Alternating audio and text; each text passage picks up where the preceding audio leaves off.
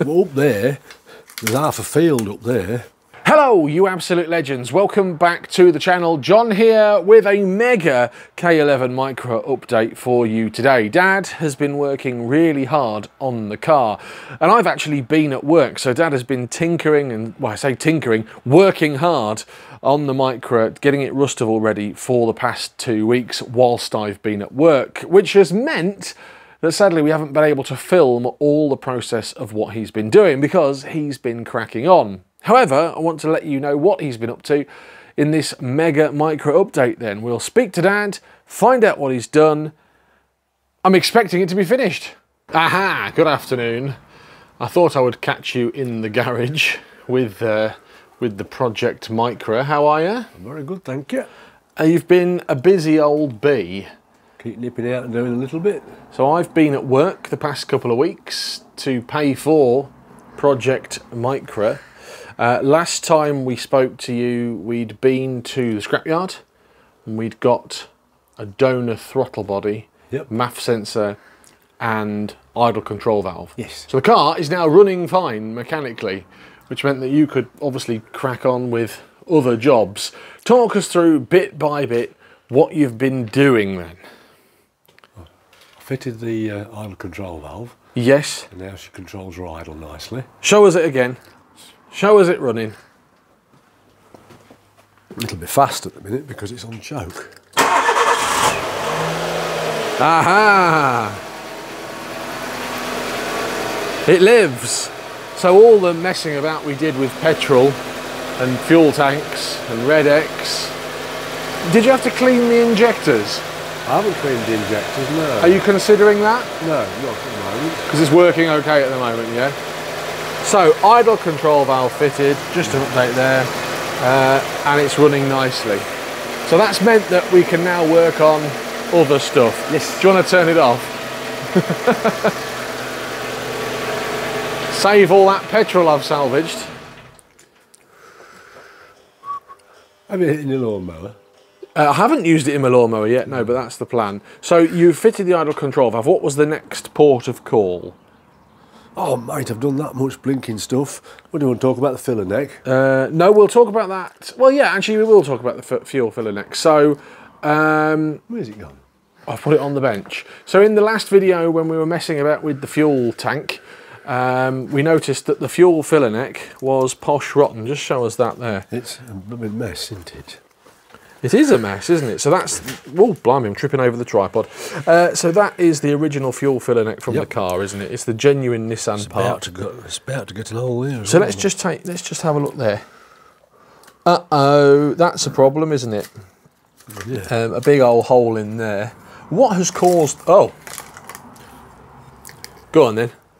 There's low, well, up there, there's half a field up there. Wow. The new one hasn't got the little flap in either. Uh, the what? Sorry. The replacement one hasn't got the little flap there. What, like the anti-siphon flap? Well, that little flap there hasn't got one in anyway. Oh, that's to stop you from siphoning it off, isn't it? Anyway, so um, we we identified that the fuel filler neck and was was no good. Not very good. no. So we fitted a new one. Slight corrosion. slight corrosion. So you have fitted now um, a new one, Yep. which looks looks good in there. That's the original uh, fuel cap, right? It, it is, yeah, because it supplies you with a new one, but the little fitting doesn't fit there. So I've put, I've left the original one on, and it does seem to fasten down all right. The new one fit. So we'll have to see how you get on. I did put some Vaseline on there to see if it bottoms out, and it does. So let's have a look in there. So we haven't got. A little flap. Oh, that's annoying, isn't Well, it? that's because it's cheap eBay stuff, isn't it? Yes. So that's cost forty quid. How was fitting that? it? Was bloody horrible. Show us what you've had to do. Well, the top bracket, apart from the fact it was rotted off anyway, Yeah. I've put it on in a different place and there's a bolt through from the inside now. And Okay, so that's I'd, up in so there. So I'd take all the carpet out the back and oh. put a bolt through from the inside. Yeah. And the So it fits in this channel, doesn't it? Or in this cover. That covers on it now. The bottom one, the bottom mounting, was about that far out of line. Oh. If you bolted it How- up, how- oh. if you bolted it up, the blinking filler neck, this side was out here and that side was well past the seal. Oh, that's no good. It didn't fit very well at all.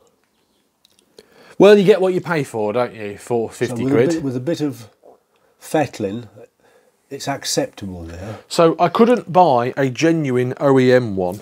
They just didn't seem to exist. don't exist now, mate. Um, I could have bought a second-hand OEM one yeah. from a donor car, but it's probably going to be as corroded as the other one, isn't it? Ever so much mud up there there was above there. I wonder how it's all got in there then, It just sits up there, doesn't it? behind that bracket. So when I'd done that, I did Waxoyl the new thing Yep. and then put the cover back on. And how long did that take? Well, it should have been a half hour job, and I reckon I was three or four hours. Because you had to modify it. I was fiddling about and I had to take all the gubbins out the back to put a bolt through from inside. So you don't really want to have to do that again. Look, we'll have to do it. Right, so that's the fuel filler neck. And now I've got the light on in here, I will show you properly. Oh, that does feel tight in there, doesn't it? yeah. There it is. If you don't like it, you can put another one on. But there it is in there. Good. Right, so that's one job jobbed. Um, so it's cost us 50 quid so far. Yep. What's next? What did you do after that? Not a lot, have I? I think you've done lots. You've done an oil and filter change, Oh, I changed the sump, didn't I? and you've put a new sump on it. Um, let's take a look at the sump that you've removed. yeah, I changed the sump. Okay, so you've got the old sump off now, and now it's time to have a look what's inside it. Let's take a look in there. Tell us what you've found. Loads of blooming hard baked blooming combustion byproducts Oh, yeah. of oil. There's big lumps of that, those. So there's all that in the sump. Da, da, da, da. Where's it gone? Core plug. Oh, That was rattling around in the bottom. core plug. Yeah. Uh, how has that got in the bottom of a sump? Don't know. Was it stuck to the bottom or was it just loose? Just rolling around in the bottom. Oh, fair enough. It's in there. But the uh, There's no money, no, no cash in there. No. There's obviously the old sump. Then um, no drugs. no drugs in there. There's all the combustion byproducts and stuff that you can see in there. like- Sludge. like stuff. Would that have made a difference to the way that the engine is run, or no, because the oil filter pickup was clean. well, there you go. Yeah. We're not wasting our time. Can I get rid of that now? Bored of looking at that mucky old sump. What the sump? What are you going to do with it? Are you going to have it as recycle it. pistons the podcasts? No, I'm fed up of saving. We're going to see how much it's leaking, look. Yeah. Blimey, They all do it, don't they? it's just rotted through, hasn't it? Is that the original one? Yeah. Yeah. Jolly Fair well is, mate. Good. Go on, give her a whack. See how bad it is. Yeah, it's just gone. It's just gone rusty, Oh, yeah, it? yeah. Has it gone through? yeah. Well. No holes though. Yeah, well, there's enough for oil to get through, isn't there? There's enough for the oil to seep through. Anyway, it's all mended now. Job's are good. Job's are good fish. And you got what you got there? Ah, the genuine Nissan oil filter. That's not the original, I'm assuming. We've not put an original one on. I think your dad fitted that, wouldn't you? I'm thinking you probably put that on from the garage. I think your dad fitted that, my mate load. Right, well, I've got angry with the fluorescent light in the garage and pushed the car outside because uh, it was causing me drama and we couldn't see properly. So, um, you fitted a new sump. Yes, mate. Why did you have to fit a new it- sump? It had corroded through. Unbelievable. Um, the sump that was on it that you removed, the original one? Yeah, I should think so, mate. Yeah. Yeah. And uh, as we saw in that little clip, there was loads of sort of black stuff inside the sump, wasn't there? Um, Oh, yeah, there was all that dried combustion deposits and stuff. It was stuff, bloody horrible. wasn't it? Yeah. Yeah, stuff, rubbish, dried oil and muck and. And the car actually sounds better now. Yeah, so new sump on, big job.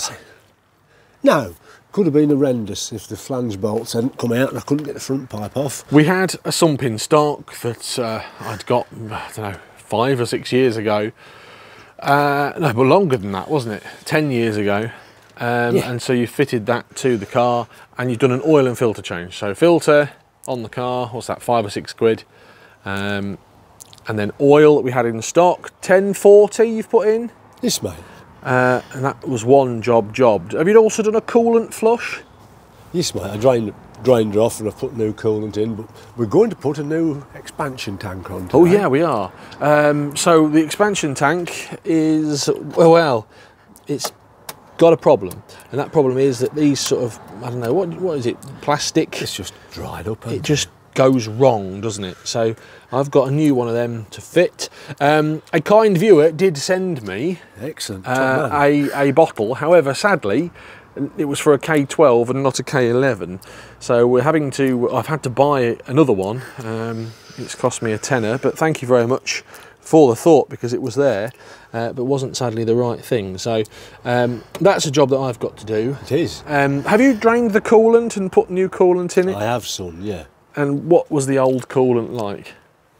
Well, it was non-existent, was it actually? Because we just put water in it. Yeah, there's quite a bit in still. Yeah. Yeah. Does it take oat coolant? No. What does it green take? Stuff. Green coolant. Yeah, green coolant. Okay.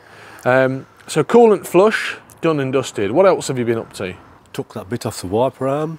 Oh yeah. So we've got the uh, we've got a problem with the rear wiper arm. I was cleaning the rear of the car for Pistons the podcast, and uh, well, the wiper arm just sort of fell off. Uh, let's have a look at that. As you can see, it sort of cracked. Um, this is plastic that's cracked, but held the other side is well this sort of metal collet thing, which is which had expanded uh, in the hole over time and caused it to crack. Is that right? Yes, mate. That's the usual thing. They stick on. But I used the nut splitter. We did. We used tool of the week nut splitter um, to get that off there. And if you follow me on Twitter, you will have seen the picture on Twitter the other day, and it went okay. Absolutely wonderful. And I've refurbished the wiper blade. Oh, let's have a look at I that. haven't bought a new wiper blade. Not yet, it. no, but I So don't need to now. I've How, refurbished it. talk us through the refurbishing process. Just got an old wiper blade and put a bit of rubber in it. So um, I've ordered a brand new rear wiper arm. Uh, could you fix that? Do you think is that something you could fix? no. Because this is two pieces, is it? Hopefully, does a new one come with that? Comes with all this. Comes Does with it? all that. Yeah, it's a whole whole shebang. Don't break that because it might not come with that. Okay, fair enough. So anyway, the new wiper arm is a genuine part. Is it? It is a genuine Nissan old stock. It's cost 40 English pounds. Serious? Yeah, 40 quid uh, with delivery. Oh Um, my giddy hand. And that was the cheapest way of doing it. The others were just sort of metal armed as opposed to the plastic armed uh, that I could get. And even then were still 25 quid. I did go to the scrapyard to have a look at the one on the scrap scrap Micra and guess what? It was broken. It was broken, uh, exactly like the one there. So new rear wiper arm. Hey, we could do like a rear wiper arm delete. Yes, you can buy the grommet on eBay for it. Kill all wipers on there. You can buy the grommet for doing it on eBay. Oh, really? No, um, it's handy to have, and I like having a rear wiper. Uh, right, what else have we been up to then? You've identified a problem with the tyres. Yeah, that tyre's got a flat on it, that one has. Talk to us about this tyre. It's got a big flat spot on it. It's about 10 mil out around it. is. Right, so it needs a new tyre on there, Yep, doesn't it? 100% certain. Uh, because that is no good. Buggered. What else have you been up to? Just stood looking at it really. Brakes have all been serviced up. Oh yeah, you, so you stripped all the brakes. Stripped all the brakes, Eased the all the off, brakes. cleaned the discs up, put them back on. Cleaned the rear brakes out, changed the brake fluid, checked all the hoses and stuff, checked the springs, check the suspension. But- generally checked it over. So now all we're waiting for, son, is a rear wiper arm, Yeah, some tyres, yeah. and an expansion tank to be fitted. Can I address the elephant in the room? It was posh rotten at the back. We found two massive, great Well, big holes in the wheel bits at the arches. well- Well, Tell us about that. What have you done? Oh, ages ago. yeah. I've patched it. You've welded it up! Hooray! I've patched it um, at the back here. We had a chat, didn't we, on the old Pistons, the podcast, about it. how we found two massive, great big rust holes in the back there, which wasn't uh, structural, was it? It was more cosmetic or practical. Can I actually get in there and see it? Yeah. Let's have a look what you've done in there. Oh, can I actually see it in there? Da, da, da, da, da, da. Yes. Ignore all this rust here. Ignore all the wheel arch rust. Um, but Dad has fabricated a panel in there and ground it all back and welded it in and sort of projected it up. Yeah. Uh, you didn't want to do that job, no, I didn't, didn't, I didn't, I didn't, I didn't. but um, what what it happened? really needs some wheel arches fitted. Well, And the wheel arch panel has half that panel in it. if I remember rightly, you were actually welding this on your birthday. Was there? Yeah. No, I know how to have a good time. No. So you've you've welded it up. Is the Oh, um, I've got some really terrible news for you. what's that? Your new grey mud flaps won't fit Why not? Because they're a different profile and the paint's marked where they live. So the wheel arches have been welded. Well, no, the back end there. Yes. The back end there. Under the lights there. Yep. How much of a pig of a job was that? It wasn't that bad actually, once Oh. I'd made the panel. So you was being a drama queen, basically. How long did it take? A day. Yeah. And are you happy with the the It outcome? is what it is. yeah, yeah, It's yeah. not concours. It's not pretty, but it's but it's solved the problem. It's- It's, fixed the hole. It certainly has. Okay, I understand. There's three buzzards above us. Aye. Look at that. You can't probably can't see them, but there's three buzzards shouting about About buzz and stuff. in the old video. Right, so welding done. Are you happy that no more welding needs to be done for an MOT? Next year it's going to want them sills doing, I think. The wheel arches and sills. As you know, I tapped it and poked it and it's all right at the minute, but uh, So will you be it's not going to get any better, is it? would you be comfortable fitting wheel arches and sills and then we getting it painted? Yeah, of course I would. Yeah. So that's a that's a future job. Uh, and we'll put it in the It future it does- content. It doesn't need sills. They're brilliant until you get to here. so it just need what does it need It then? needs part panelling.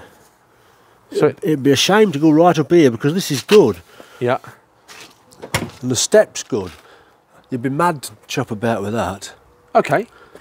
Well, we can we can cross that bridge when we need It to, needs can't we? definitely. And we'll add that again into future content. She needs that bit doing. Yeah. I'm, I'm, I bet you could find some panels to do that. You can, but are they any good? But then, are they any good? Uh, in fact, the company I've looked at that sell the panels for this Hmm. appear to be the same company that sells the panels for, you know what, the Rover 75. the Polish one. Yes. So, are you saying we fabricate our I- own wheel No, arches? I bet you'll. No, I couldn't do that, mate. I bet there's somebody in this country supplying them. Anyway, uh, so that's a f that's future content. Then we're going to be fitting new wheel arches, but not before Rustival, right? No.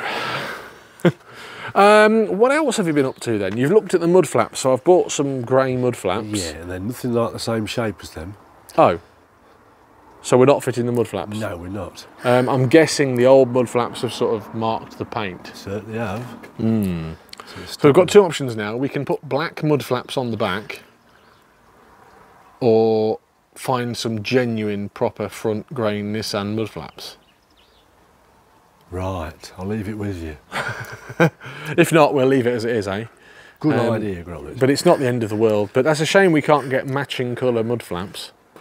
Uh, let me know in the comments below if you've got the part number for matching grey Nissan Micra mud flaps. Um, what else have you been up to? That's it. Is it? Yes, it's all done. So, so just to, to just to tick it off, uh, new fuel filler neck, Yes. tick, throttle body, and MAF sensor and idle control valve, tick. Tick. Oil change, Yes. oil filter, Yep. new sump, Yes. coolant change and flush. Yes. Uh, all the brakes stripped, Yep. eased and serviced. Yep. Pads and discs look okay? In the ideal world, you'd fit new ones, but I've cleaned them up. Okay. But they're, they're in the future, it might need some new pads and discs. Yes, Uh, if, you're, if you're going to fit pads or fit discs, yeah. Uh, welding has been done. That's the main update, isn't it? The welding has been done and it is not going to the scrapyard. no. Um, we need a new tyre, so that's been diagnosed.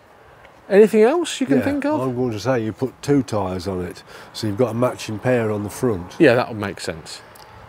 because that one's quite worn anyway. Yeah, yeah, yeah, yeah absolutely. And you're going to get them tr- uh, tricky rims sorted at the same time then, because they'll clean Yeah, them up and put clean some 'em bead seal on. I am going to fit a new coolant, uh, new expansion tank.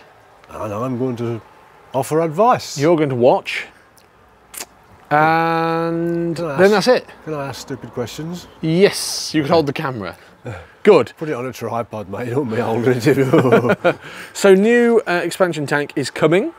Uh, that's cost a tenner, and then I'm guessing it's MOT ready. no tyres. Yeah, once we've got the tyres on it. Yeah. Well, that's a good update. Have you enjoyed the process so far? Be happier if we'd got a brand new body shell. If I can strip one of your museum Micras, Yeah. and have the body shell repainted in the right colour, then But- I can rebuild it. But then it wouldn't be my car, would it? Um, no, it wouldn't. Would It would be. You might as well just chop the VIN number out and put it on a good car. right, let me put this uh, new expansion tank on then, Yeah. and then we'll uh, have a chat about other stuff. Okay, so first port of call in replacing the coolant expansion tank is to remove the battery. Uh, get that out of the way, and we can see what we're doing, and then it might be that we have to take this breather hose off, or it might just slip underneath. For the sake of uh, a couple of screws to take this off, it makes absolute sense. And don't forget, this is the battery that I've uh, borrowed from the museum Micra, so I don't really want to damage that in any way.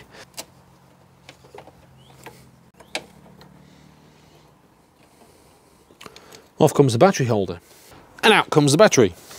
And now you can see the lovely battery carrier that Dad has also lovingly refurbished. So now I've been able to actually assess the situation and have a look. I can see that this is held in place by a screw that's underneath here. So you've got to take that off to get that off. But, well, actually, I'm just going to leave this in place because this is held together just by two bolts. One. Two. And then, well, in theory, it should just lift out.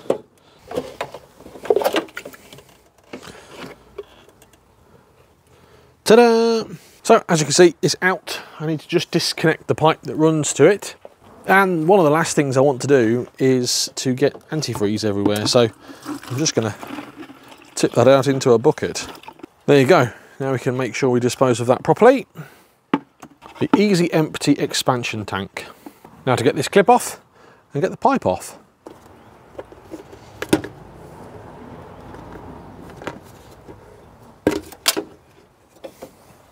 Off.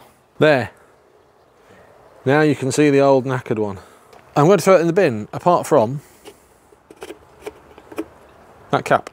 And here's the replacement. Someone has handily coloured in Min and Max and labelled it up for a K11 Micra. It is a genuine part. It was 10 quid and you can see that it is, well, I'm probably going to be doing this job again in the next couple of years with this one. Thankfully, it's only a five minute job, but I wanted a genuine part on the car as opposed to a replica. Uh, it was the same price. Uh, hopefully there's a bit more life in this one. Well, there certainly is because there's not a hole in it, but in an ideal world, that would have been brand new.